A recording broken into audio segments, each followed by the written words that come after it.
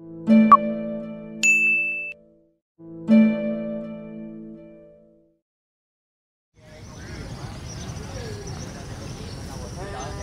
Tổng cộng có gần 40.000 quả pháo hoa chở khai hỏa đêm giao thừa chào mừng Tết Canh Tý năm 2020 tại thành phố Hồ Chí Minh. Trong đó có 2.300 quả pháo hoa tầm cao, 26.500 quả pháo tầm thấp và 97 dàn pháo hỏa thuật với 9.700 quả đã được các đơn vị thuộc Bộ Tư lệnh thành phố Hồ Chí Minh cho vào nòng vào sáng ngày 24 tháng 1 năm 2030, tức 30 Tết. Năm nay thành phố Hồ Chí Minh có 7 điểm bắn pháo hoa mừng năm mới Canh Tý, trong đó có 2 điểm tầm cao và 7 điểm tầm thấp.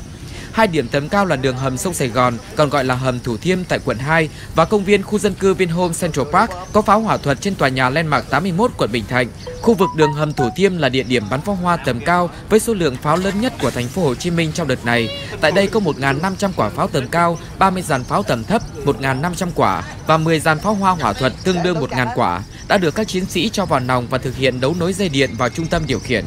Cùng với đó, 5 điểm tầm thấp gồm công viên văn hóa Đầm Sen, quận 11, khu công viên lịch sử văn hóa dân tộc quận 9, khu đền tưởng niệm liệt sĩ Bến Dược huyện Củ Chi, sân bóng đá huyện Cần Giờ và trung tâm hành chính huyện Nhà Bè.